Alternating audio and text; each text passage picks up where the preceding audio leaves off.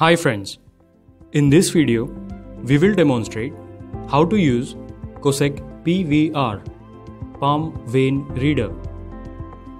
COSEC PVR is a highly secure and contactless biometric device that works by reading the vascular pattern of the palm. Vein patterns are stored in the database which is later used for identifying a user at the time of authentication. In this video, we will cover ideal installation practice, setting guide mode, prerequisites for palm enrollment, positioning of palm on hand guide, precautions to avoid false rejection ratio. Ideal installation includes First, position the COSEC PVR away from the direct sunlight. Second, avoid positioning of COSEC PVR under direct light of halogen or incandescent lamps. Third, dust should not be present on the sensor. It should always be cleaned with a dry, soft cloth. Fourth, water droplets should not be present on the sensor. Fifth, angle of mounting should be parallel to the wall or door. Parallel mounting will help dust and water particles to fall down from the sensor.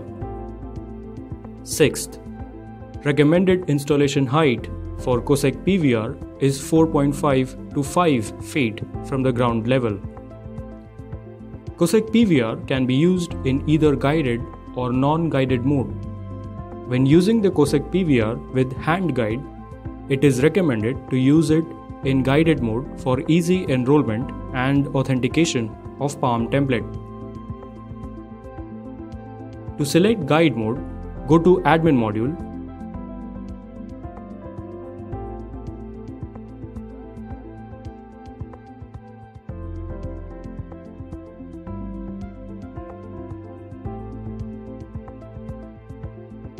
followed by System Configuration and Global Policy.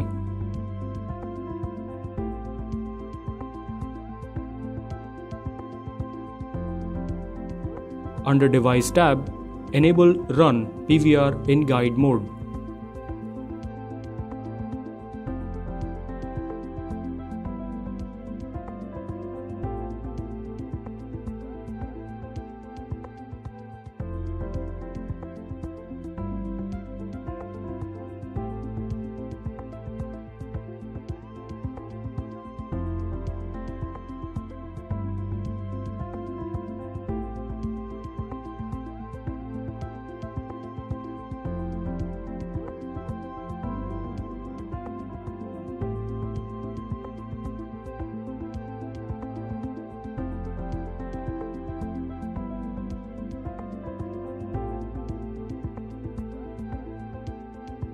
Please note that changing the setting of COSEC PVR to run in guide mode will delete all the existing PALM templates and reboot the COSEC PVR.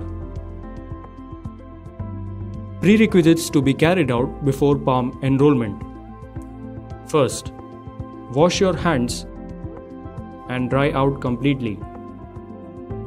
Second, remove the gloves, bracelet or any other obstructing accessories. Third, rub your hands for increasing the blood flow through your veins. Let's see how to place a palm on the PVR guide for proper authentication. Place the wrist properly on the wrist guide. The wrist band must touch the wrist guide. Place the index finger, middle finger, and ring finger properly on the finger guide such that all the fingers get placed in their respective grooves. Some incorrect positions of the palm which are to be avoided include First, incorrect position of the wrist. Second, palm which is not placed parallel to the sensor area. Third, fingers are not stretched or bowed. Fourth, the palm bows in the wrist and the finger guide. Fifth, the palm bows out the wrist and the finger guide. Sixth, fingers and the thumb are not spread out properly. The following conditions may result in enrollment failure or the low quality palm template. First, dirty or scarred palm. Second, wet palm. Third, bandaged palm. Fourth, palm with tattoos.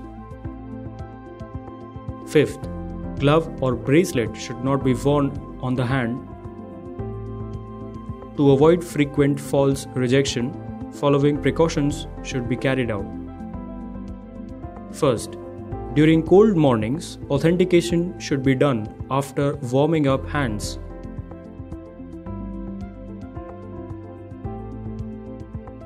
Second, enroll multiple palms for a user who face frequent rejections during authentication.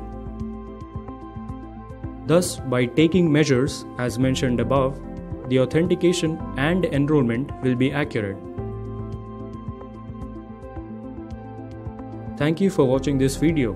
For further queries, please contact Matrix Technical Support team.